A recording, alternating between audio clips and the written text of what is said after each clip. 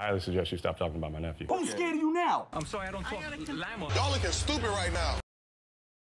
The Real World. A place I know nothing about because I spend all my time watching reality TV. Around springtime of 1992, seven strangers were picked to live in a loft and have their lives taped. This iconic concept of a show was called The Real World. Widely considered to be the foundation of reality TV, the cultural zeitgeist would entertain viewers for 25 years, each time telling different stories, good or bad. While the show wrapped up its last season in the summer of 2019, I had only begun watching it after they had ended it. That being said, I spent the last however many months binging all 33 seasons, and now I want to talk about it. So in this video, we're going to be taking a look at every roommate ever removed from MTV's The Real World. Now of course, I won't be able to show everything from every season, so if you're wanting to learn more about any of these, I suggest looking for it online. There's a handful of seasons on Paramount Plus, and even the ones that aren't, I'm sure you can find online with a little extra digging. With this already being a beefcake of a video, let's just jump into it. With the cast of Season 1 New York all staying from beginning to end, the first instance of this would be in the following season. Debuting on June 26th of 1993, Season 2 Los Angeles brought together a group of diverse and eccentric personalities. One of these original personalities was David Edwards, a 21-year-old stand-up comic. After clashing with some of the roommates, it hit a boiling point when he pulled the covers off a fellow roommate Tami's bed. The next episode 7 would ultimately see the cast collectively decide for him to leave the house. I apologize, Tami. Tami, I'm sorry. I thought you guys were playing. I don't feel guilty. I just don't you think I disrespect you. Dominic and Aaron, yeah, I'm glad I got to know you. Beth, I wish I never knew you. Oddly enough, this second season also saw the second person depart before the end, this one being Irene Berrera. Irene was a 25 year old deputy sheriff whom, as the oldest, kind of acted as a motherly figure. She had a relationship with another deputy, and we would see the two get married in episode 12. Sadder than Irene leaving, however, was fellow roommate Jon Brennan's reaction to her marriage. You're gonna miss us, you all.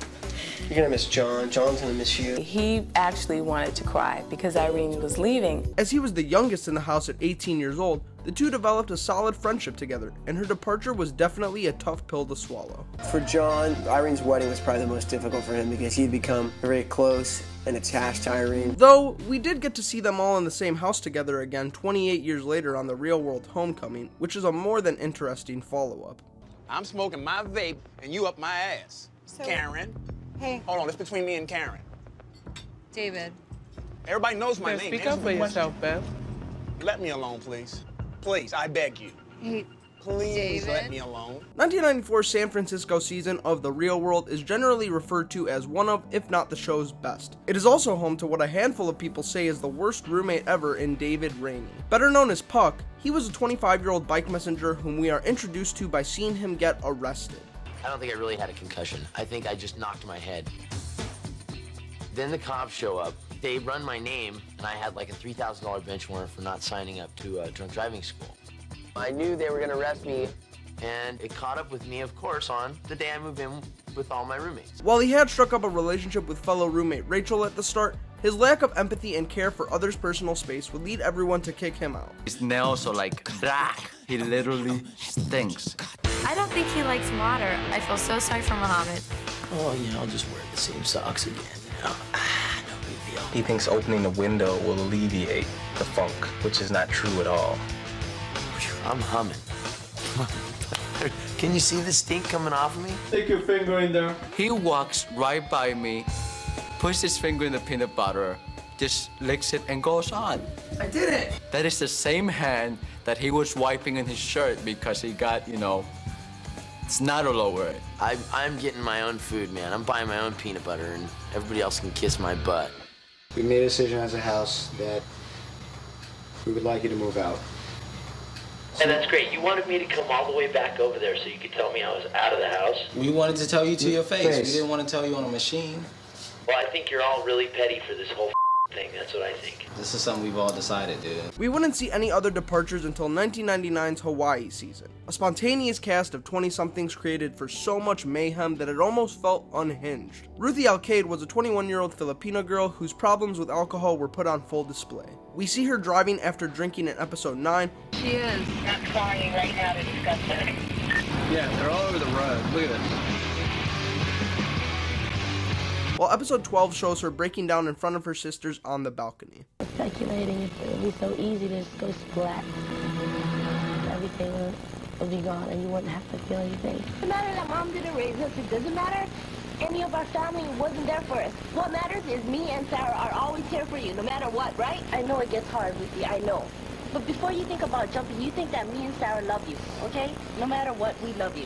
No matter what crazy stunts you pull, no matter what you do, we still love you. As she and her roommates fail to compromise on how she should go about dealing with the problem, she storms off in episode 13. She met up with fellow roommate Matt the following episode, as him and her sister had been together, but doesn't actually come back to the house until episode 18, aptly titled Ruthie's Return. But there is one other casualty on this cast, that being Justin Deabler. In the first few episodes, his homosexuality makes him feel like the odd one out, specifically due to Teck's initial greeting him and listening to a comedian rattle off gay jokes. Are you gay? Are you gay? Yeah. All right. Oh, yeah! Yay! Justin gives me this look of, I can't believe you asked me that.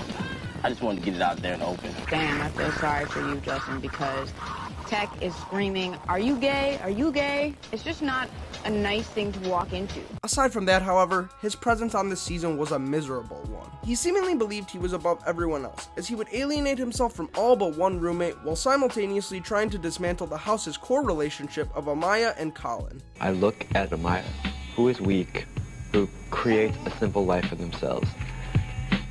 And you see someone who makes me sick. As Colin confronts him on his meddling, his only friend Kaia begins to distance herself from him, and at the same time, he receives a call that his aunt is dying of cancer and opts to leave the house for good in episode 16. Good luck, everything. Just want to let you know, I know what it's like to have someone sick, and I would leave too. So, good luck with your family and everything. Thanks. I don't know whether to believe Kaia or Justin. They both seem to be lying to some extent. But it's good to know both sides of the argument because that way I don't look at one of them as being evil, you know, and one of them as being a saint. I realize they're both screwed up. Seasons 9 to 13 each had crazy moments, but we wouldn't see somebody actually leave again until season 14 San Diego. Frankie Abernathy was the second oldest of the roommates at 23 years old. She shocked them all the first night by telling them about her diagnosis of cystic fibrosis, which I'll let her explain. Cystic fibrosis is pretty much a disease that affects the lungs and it causes the mucous membranes to kind of block themselves up. So with your lungs, it, it's almost like having like a permanent pneumonia. What the are you doing? doing smoking? No. No, you just told me that. Like, seriously, I don't even want to smoke around you.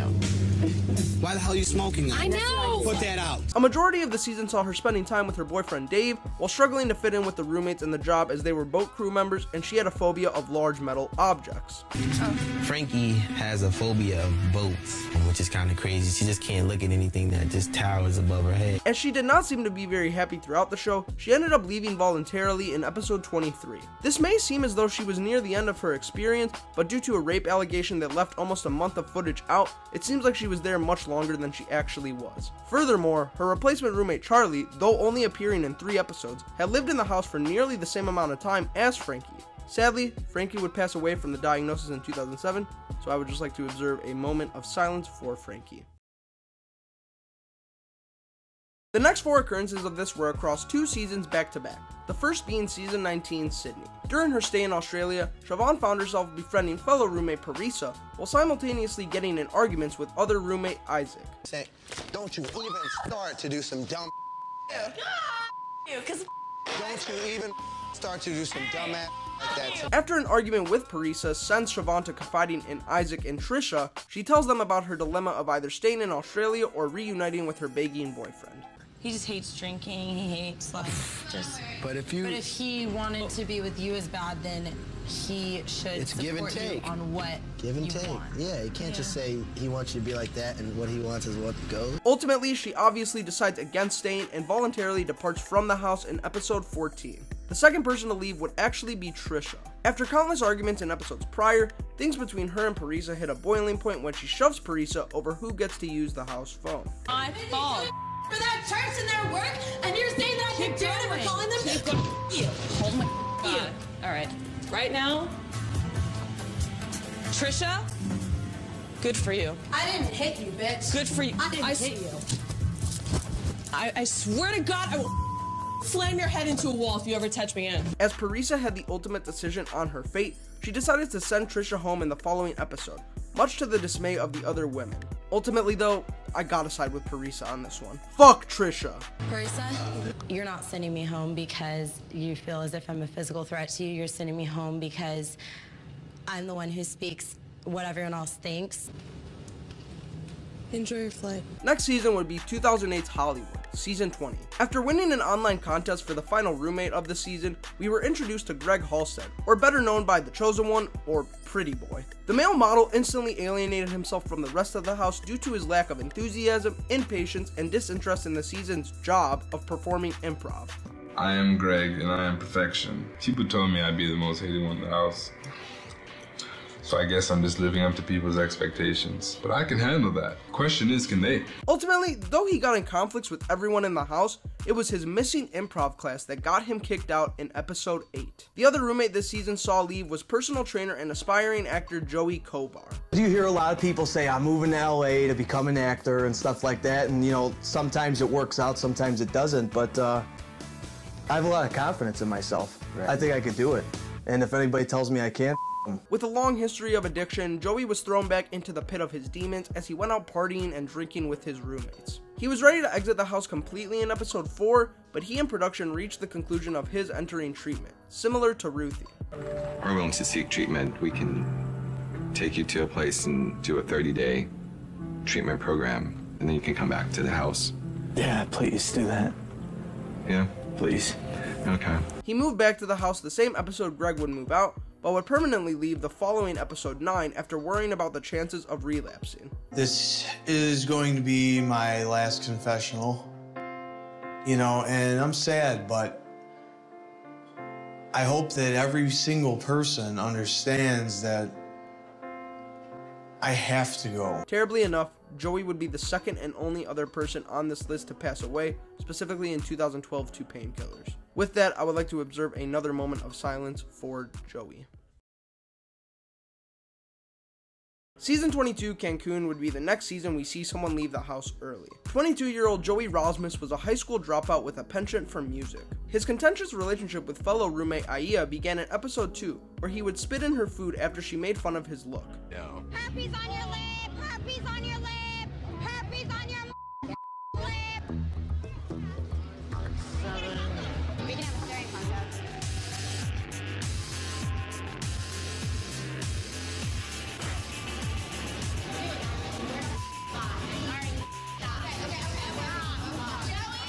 An argument between her and him in episode 5 had led her to committing self mutilation, which Joey lacked any empathy for, putting up signs around the house telling Aya to just go home.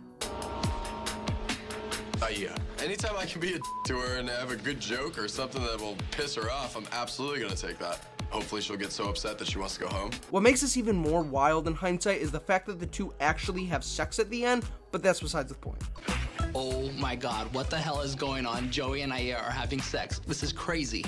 Okay, what's going on? Is this really happening right now? What? What? What? His reason for being kicked out would actually circle back to the cast volunteer work with Student City, which I wholeheartedly believe is the worst job on the show. Even though the cast didn't follow the rules entirely, the notion that they couldn't drink on or off the clock is quite horrific, especially when you're in Cancun. He missed a shift in episode 6 and woke up late in episode 7, where he was ultimately fired and sent home. It's not your responsibility, it's his, so tell Joey I'll call him back, okay? Okay. All right, bye. Whatever. And just to be clear, he did return in the final episode as a surprise guest, which explains his relations with Aya in the finale. And might as well mention how Bronne had been evicted from the house in episode 9 after yeeting a fire extinguisher off the balcony, but was allowed to stay in another off-site hotel for the rest of the season. You suck, fire extinguisher! it says open. Mm. Your lock defies your sign. The following season 23 of DC is generally viewed as one of the show's most boring, but I can't deny that it had its moments. Some of these moments include the childlike attitude of roommate Erika Lauren. The 21 year old aspiring singer songwriter came into the house with a boyfriend, and this was a main point of conflict for her during her time in the house. She also discusses her experience with depression a couple times in the season, which troubled fellow roommate Ashley, as she had been experiencing the same without overcoming it. Damn it. It's great that Erika has recovered from depression, but I'm still suffering with issues with it, and it's not as easy for me to talk about. And it's tough for me because every time that Erika talks about depression, she talks about her family and how she turned to them. And I wish that I had that support that she has, but I don't. Though she got off on the right foot with fellow roommate Josh, episode 8 would see this thrown off as she jumped in to replace him as a vocalist in his band when he went to answer a call. Erika, me and her had this ongoing, unspoken competition. I'm starting to meet all these musicians, and she has nothing to really work on. I think she's just jealous. Finally, she had called out arguably the closest person to her in the house in Callie for being standoffish after she didn't interact with Erika's boyfriend's friend. This prompted a large reaction from Callie while simultaneously leading to Erika's departure in episode 12. And I'm sorry that me and Evan don't have a connection. That's not my fault. You were totally standoffish to them. I'm standoffish and it's to all insulting to guys. me. I wasn't trying to be that way. I All wasn't I'm saying is- standoffish to them. I wasn't. Was I standoffish? Am I a bitch? Am I standoffish? I'm a standoffish bitch. And Erika, I've been a good friend to her for two months, but now I'm a standoffish bitch. So I am, that's, I'm a terrible person.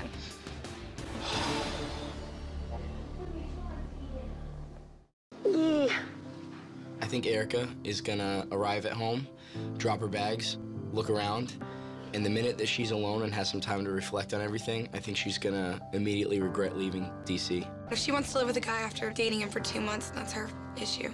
I hope nothing but the best for her, but I assume nothing but the worst. The next season 24 New Orleans would bring us one of the worst roommates to ever grace the show in Ryan Leslie. From his comments on Jemmye wearing something that's asking people to rape her, Is that what you wear? Yeah. Girl, you're gonna get raped out here. That's like asking, like, hey, please stuff me in a couch and gorilla me. Oh, That's all you're asking for. that's what I'm asking for? Mhm. Okay. and homophobia towards Preston in episode 1 alone, Once one of us touch you with our lips, it's like the princess and the frog. You guys touch me and I feel like killing It's like myself. Prince. That's what happened to Preston. Whoa! Whoa, that was really harsh, dude. That was really harsh. It's a tragedy to say it only gets worse from here. As I would love to do an entirely separate video discussing the worst roommates from the show, I'll give an abridged description for now. He tried striking something up with fellow roommate Mackenzie, only to do the same with her friend in the following episode. I have been looking around for um, a pretty cute girl to hook up with, and it's very convenient that Susie is is here and that Kenzie brought her here, and I didn't have to do anything. He actively decided against doing any chores or cleaning up after himself. What are you gonna do right now? Go upstairs. Can you clean the kitchen first? Yeah, I will when I'm going to. Okay. When are you gonna do it? Hey, mom. Uh, It's annoying everyone in the house. Hey, well, you know what? I'm not really worried about that. So. And I'd be remiss to exclude his rubbing Preston's cigarettes in his asshole. Don't worry though, Preston cleaned the toilet with his toothbrush. He just peed on Ryan's toothbrush. Oh, I just pissed on it. It all culminates in episode 10, where he refused to talk about bringing a beer to a drug abuse class, which prompted the entire house to easily evict him. Doing I'm Ryan. All right. Nice to meet you. So you're gonna drink a can of beer Yeah, while we're is that right now? No, that's not okay. So it says two.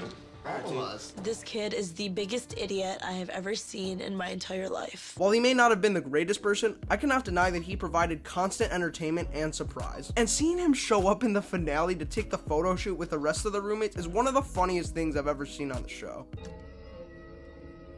I'm gonna miss all my roommates so much. It's okay. It's okay. Oh my god, get the f- out my face. Great times, roommates. Oh man, you guys were fun. I will knock you. She mad at me right now. You're That's she right. mad at me right That's now. right. Be scared.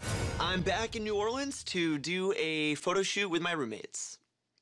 Ex-roommates. Season 25 saw the real world in Las Vegas for the second time, and honestly, I enjoyed this more than the first. It's one of my favorites. Maybe that's because of Leroy and Nany, who some of y'all may recognize from the challenge like I did before watching the season.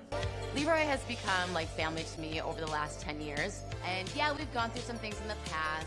But no matter what, he and I are always gonna ride for each other. That's just who we are. For us to make it here 10 years later, it's crazy. You know, we've been through so many different emotions on these challenges, but no matter what, Nany has always been my number one girl in the game who I vow to always protect. Suffice to say, neither of them were the removed roommate, but it was 22 year old Adam Royer. Adam describes himself as having a rough upbringing, selling drugs at age 14 and getting arrested at age 16 after being an active participant in a shooting. I was 16, we started like robbing drug dealers.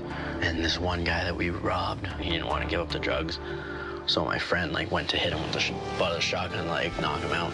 And the kid moved out of the way, grabbed the shotgun out of his hands, and then turned and he shot it at me and my friend. So he like missed us. And when he did that, my other friend shot him. He also eventually sleeps with Nany, prompting her to break up with her boyfriend, though he continued to maintain an outside relationship himself. Oh, I'll tell you right now, every guy cheats. The reason that Mike gets picked on so much is because he's he's the, he's the one percent, and it's the abnormal. You know what I mean? I'm not saying what No, we no, do no, is right, got you. Said but you, abnormal. he's the abnormal one. You know what I mean?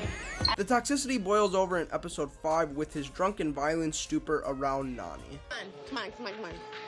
Do your shit's working. Just chill, bro.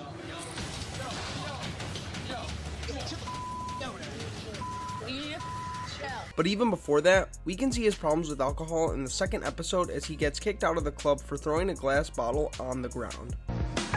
I don't really care what they think at all. I'm kind of just like, just shut up and drop it. I'm just sitting there like, I know no repercussions are going to come from this whatsoever. He eventually gets banned from the club in episode 6, which is also when the hotel decides to ultimately evict him. On top of all of that, this episode is one of the four audio clips I use in my intro, so that's nifty. Is that not gonna happen? Well, I'm not gonna lie. I'm not gonna be like, yo, No, I'm I gonna understand that. I understand that, but I'm not if gonna. I don't mean it. He just sat here and told y'all that he will do it again. You told him if it happens again, what kind of you on? What kind of you on? Y'all looking stupid right now. The location of St. Thomas for the 27th season was one most fans weren't fond of, but personally, I had a fun time watching it. Of the two roommates named Brandon, the one we'll be looking at is Brandon Kane. Being a former heroin and alcohol addict, he had come into the house being six months clean, though he began drinking again with his roommates. I was at a party one day and just I did a line with this like really hot girl, and after that I was I was just hooked. And I just yeah. But then I would do heroin to come down from my coke binges so I could sleep, and it was like I've kind of done it all. I think right now it's like six months clean. Seriously, I'm really proud of you because the fact that you're able to bring it up, bring it up like that, just come right out. It's part of who I am. Yeah, I don't know. I just I just kind of want to just get it out of the way. While out in the clubs in episode 2, Brandon got in an argument over a girl he was dancing with, only to see her again later in the episode, ultimately get denied and respond poorly. Look at him now. He's hurt, feels terrible, and he feels humiliated. Or if you were gonna bring home the same girl, it'd be a different conversation. I think that you and you think you're better. With the housemates, notably Swift, being worried Brandon's temper is set off by women and drinking, he ultimately gives it up in episode 6. We don't need me running around getting all emotional and When Brandon drinks, he gets very, very depressed or becomes a, kind of a loose cannon. Seeing somebody take the responsibility to say, I have a problem, I need to fix it, I respect him for that. After bringing a girl back in episode 10, however, the drinking came right along with it. Though concerning to others, it is ultimately a drug test in the following episode that gets him sent out, where he admits to having done cocaine in the bathroom with some random lady. Let's get it all out in the open. The night before my drug test, a girl drags me in a bathroom. We did a bump, if you'd even call it a bump. There you go. I did it. I up. Do you think you deserve to stay here? No. Tell me. I broke an agreement. So if I get sent home, I can't get mad at anywhere but myself. The next few came from the season of Portland in 2013. First, we had Joy, an athletic 22 year old who posed for Playboy at age 19, somewhat straining her relationship with her parents. I decided to do Playboy. It was kind of a proud moment for me. I was glad they chose me. I was proud that I did it. I have no regrets, and I did it because it's something that most people will never be able to have the chance to do. Aside from getting in an argument with Jordan alongside Anastasia, her lack of intrigue with jobs in Portland led her to voluntarily depart in episode 3. Averey and Johnny were a couple in the house, and might I add, they had the highest sex drive, going as far as hooking up in the bathroom of their pizza shop job on the first day. This is the first time I've ever had sex in a restaurant's bathroom. This is out of the ordinary. Banging in Pizza Schmizza bathroom with Averey. Having good sex. Day one on the job. The bathroom is locked right now. Are you serious? They're in there. They're in there. They had their ups and downs, but the final straw had been one physical thing leading to another between them and Naya in the penultimate episode.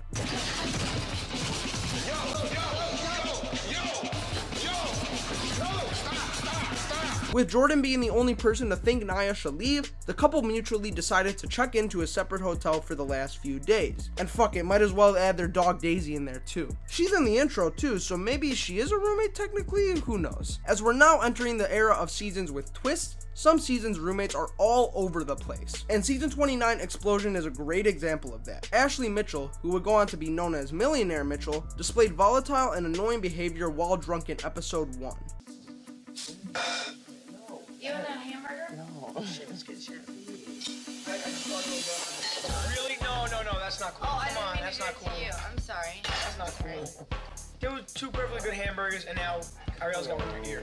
The audacity of somebody to throw hot oil in someone's face. Like, that is crazy. I don't know who her family is, Okay, but I, I promise know. my family will buy and sell her family. Okay, but it's not about No, I don't give a.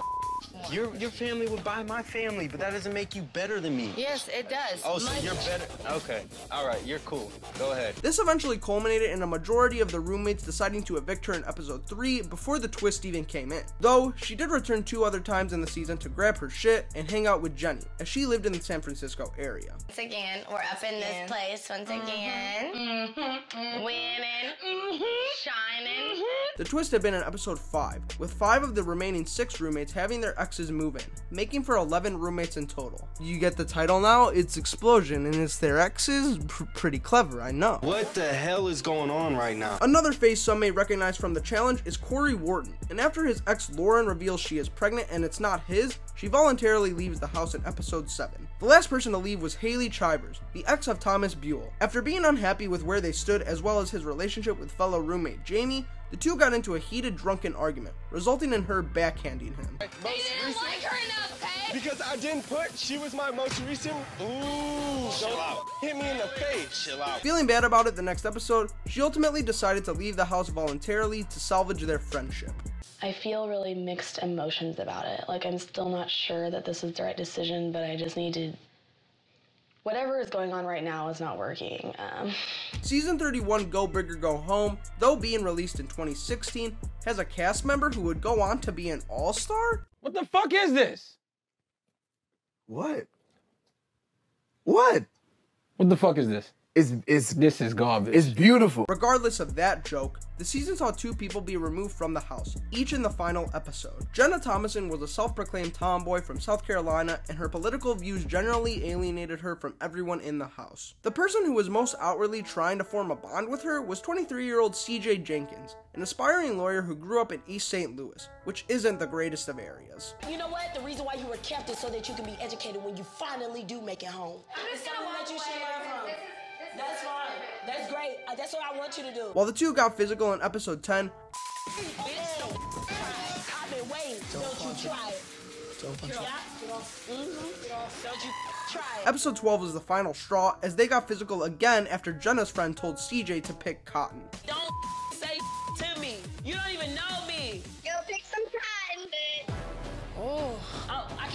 Did you hear her friend, CJ? Yeah. She said, go pick cotton, bitch. That's horrible. yeah. That's fine. You're Your not little right now. cyber friends, they What hype you up cyberly. You say ratchet, all of that. Because you were yelling at me. I don't give a said, shut the Yelling at you right now. That's what you need to do. Realize that. I said, oh my god, get her, get her. No, bitch. I'm done. For this, both women would be sent home in the final episode. I am an African American woman who takes pride in being an African American woman. So to allow someone to try to annihilate that from me, I'm sorry. If I get sent home early, I'm gonna get sent home with my dignity and a little bit of pride. The final season to be aired on MTV was Seattle Bad Blood, and spoiler alert, its ass. There were a handful of people I didn't hate. I'm looking at you, Robbie. But the fact that there were 14 roommates at one point and 4 left throughout the stay should speak volumes. The first would be Mike Crescenzo, someone who was previously cast on a season of Are You the One, another MTV show. It wouldn't be so weird until you realize he was removed from that show after hitting a girl with a pillow.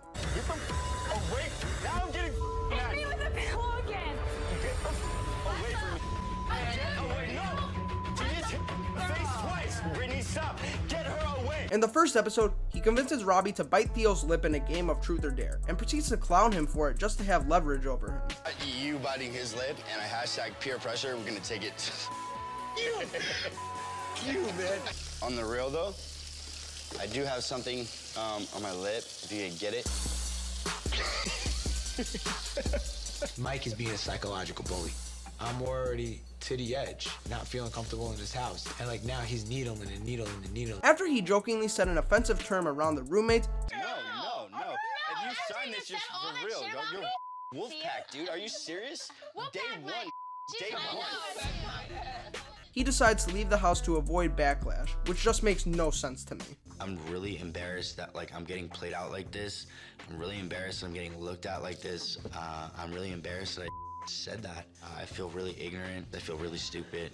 So at this point, I, I just want to get out, man. I, I want to go home. Moving on though, we get another exit in the following episode. This one following an argument between Theo and his bad blood Cassius after talking about the root of their bad blood. Theo was ultimately the one sent packing, though they probably both could have gone, but MTV couldn't have another person leaving. Well, regardless, supposed 21 year old Tyara Hooks left two episodes after getting a positive pregnancy test back. And I said supposed when referring to her age because she went through the whole season claiming to have an authentic English accent. I'm a military brat, so I was US born.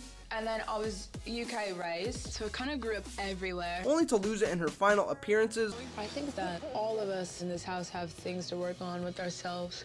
So make of that what you will. And with the next episode being the finale, we saw Mike's bad blood Peter getting removed. Just like Ryan Leslie, I want to keep this brief as there is so much to look at with this man for a worst roommate video. With that, his ultimate reasons for leaving included instigating a physical altercation, being verbally abusive and physically abusive to a fellow roommate, as well as the production crew. And I almost forgot about this last one, but surprisingly enough, the Facebook season set in Atlanta saw one person leave in the final episode. This person was Clint Wright, who, fun fact, is the oldest roommate across all 33 seasons of the show. His behavior doesn't really match this, however, as he was super controlling in his relationship with Tova, and we'll get into it a couple times with Dondre. I'm really not big me, bro. I'm not. So you're gonna smack a drink out of my mother hand and act like it ain't.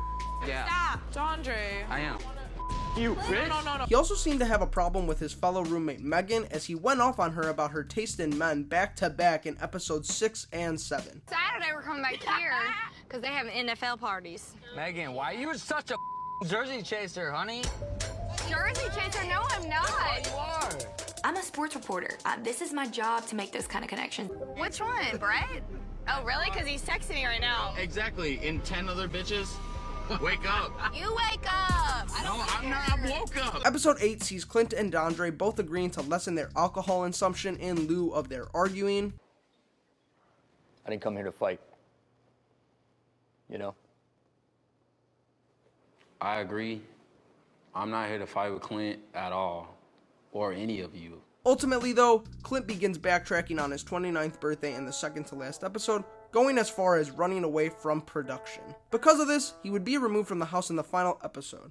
At the end of the night, he put me in a hotel, and honestly, I don't remember really what happened after that. I wake up this morning, one of the producers steps in, says, uh, well, Clint, you got kicked off the show. Though he would come back to say goodbye to Tova, which I felt defeated the purpose, but whatever. Now, obviously, not every case I showed was someone being told to leave the house, so let's look at the numbers. There were 12 people that voluntarily decided to leave the house, one dog that exited the house with its owner, and one brownie that got kicked out but was able to stay at a nearby place. So in totality, there were 16 house guests ejected or removed from the real world house, however you want to put it.